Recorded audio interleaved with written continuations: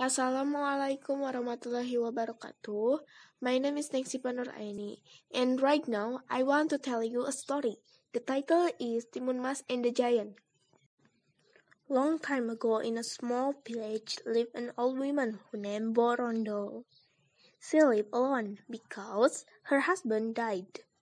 She very wanted to have a child. So one day she met Buto Ijo to ask a child. Buto Ijo gave her cucumber seed. He said, if the cucumber seed was planted, it will grow to be a big cucumber.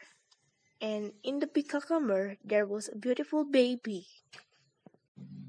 Buto Ijo said again, I want to take her when she is 16 years old. Mbok Rondo alone. She planted the seed in front of her house. In the next day, she found a big cucumber in front of her house.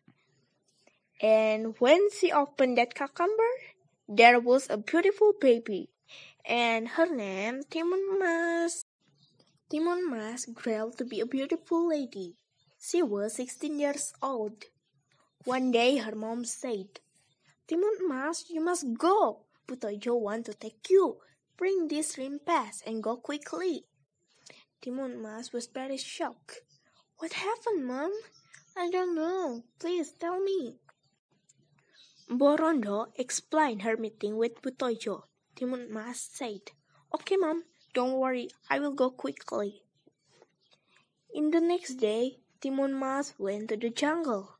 Oh yes, he didn't forget to bring Shrimp Pass to conquer Buto Ijo. In the jungle, Buto Ijo searched her. Timun Emas, Timun Emas, where are you? Timun Emas was very scared.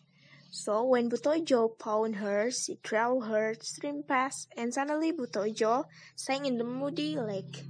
Finally, Buto Ijo died there. And then Timun Mas came back to her house and lived happiness with her mom. Moral of the story.